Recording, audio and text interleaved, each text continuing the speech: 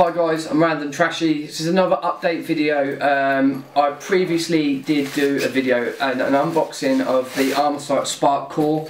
There has been tons and tons of comments that I've been sent about this. Um, not as much on the video, but more personal questions would I rate it? Would I, you know, would I? Can I show some footage from the camera? Um, sorry if it's a bit noisy. I'm just getting out of the box. Um, and have I used it out on site? So this is the unit itself. If you don't know about this, it comes from a company called Armasight that are based in America. Um, it's called the Spark Core. It's a Gen 1 Plus uh, night vision unit um, but please don't dismiss it or leave the video already because, because I do have a lot to say about it.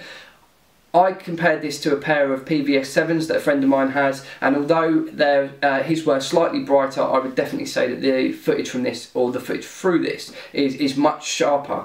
The issue that I have had is that I record with a DSLR camera, you know like a big Canon thing um, and this eye cup on the back and the way that the focal um, focus works with this kind of focal adjustment ring on this end and then you've got kind of your objective focus here. It is very very difficult to get good footage for it and I think that's what really lets this down. I looked around on YouTube um, a lot trying to find some good footage of this unit and some good footage through it and a lot of people have kind of got their iPhone pretty much like this um, and put it up to the back like that and then tried to get some footage through it the thing is, this is adjusting focused, while this adjusts focus, while this adjusts focus. Trying to get all of those aligned correctly and, and kind of done right is very, very difficult. But what I will say about this unit is if you are not going to go and spend £3,000 on PVS 14, Gen 3 or Gen 2, at least a decent Gen 2, I would heavily recommend this unit. I paid about £400 to get this to the UK um, and I've done a night op recently at the Sandpit so any of the local airsofters very much thank you very much for watching the channel and welcome. Um, I went to the Sandpit, there was a night op, flipped this down and had an amazing experience being able to see in the dark. Okay, it's all just with one eye and I didn't have IR on my gun so it's kind of a little bit hit and miss.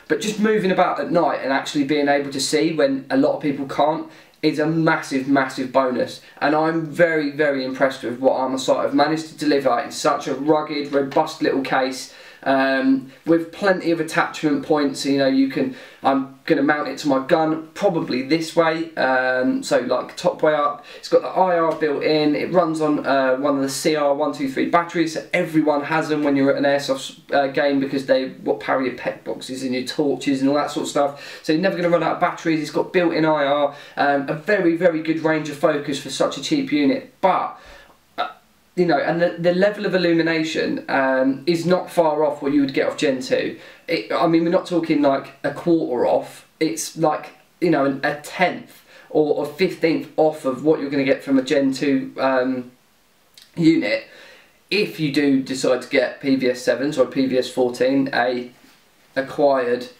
ex-military one, you don't know how many hours are on that tube, you don't get any guarantee. I'm sure the person that you buy it off is probably going to be taking, I would imagine, about £1,400 off your hands. And I'm sure they're not going to give it back to you in six months' time if it goes wrong, or you get some degradation of the tube, or there's some burn spots in it that weren't advertised, whatever. There's a lot of you know complications with it. I went to OpticsPlanet, I spoke to the help service, asked them if I could get one of these into the country. Because of I'd asked some questions about it, they gave me 10% off, which covered the shipping cost. And I got it into the UK, and I think I paid about 30 or 40 pounds shipping, tax and handling. You really can't argue. That's two years also worth of guarantee. So if you do send it back, they will cover the charges, repair it, and then send it back for you for free. You really can't you can't argue at those sort of specs. Um, to the point of two of the guys from my team have now gone and bought these units because they were that impressed with them. And you're not massively out of pocket. They're also selling on Amazon for about £600. I got mine into the country for four. Say I've used it three times at night, maybe. Um, you're going to still make profit on it. Um, Armasight, well done. I mean, great. You know, you guys have done something um, phenomenal. So congratulations, I guess. Um, it's a great unit. Um, I will try and get some footage through it. Hi guys, so here's some footage from the early hours of this morning. Um, loads of cloud cover last night. It was very, very dark. As you can see, my Canon is picking up no footage at all. Just a few lights in the distance. When I hold the unit in front of the camera, you can see out to the end of the garden, about 80 feet. It's nice and sharp footage. You can see all the lines of the fence. You can even see the, the leaves on the trees. Although I don't feel this does the unit massive justice, um, it is quite good footage and some of the best that I've seen on YouTube. So please feel free to ask me any questions if you need to. This is just a little bit of footage pasted in, but hopefully it's sufficient enough for you guys to get a good idea of the sort of quality you're going to get from the unit.